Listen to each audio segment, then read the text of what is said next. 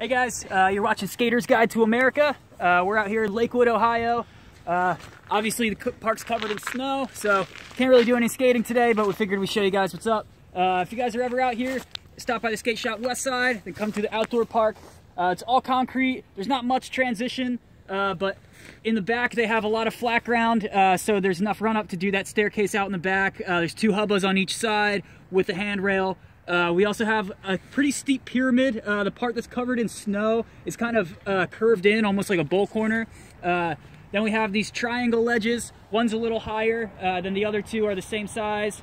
Then we have the flat ledge on the bottom.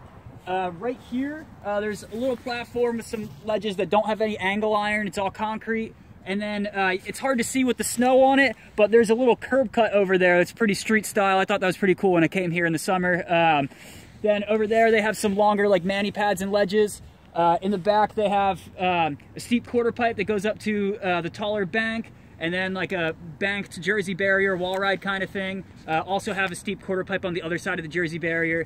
Uh, this park's pretty cool, not a lot of transition, um, so it's not my favorite park, but still pretty good, worth coming out to. Uh, if you're in the area, definitely stop by. I'd probably give it about uh, six, maybe seven out of 10. no helmets required, free. Uh, there's no bathrooms or uh, water fountains, but it's a pretty nice park. Um, yeah, it's definitely worth coming out to.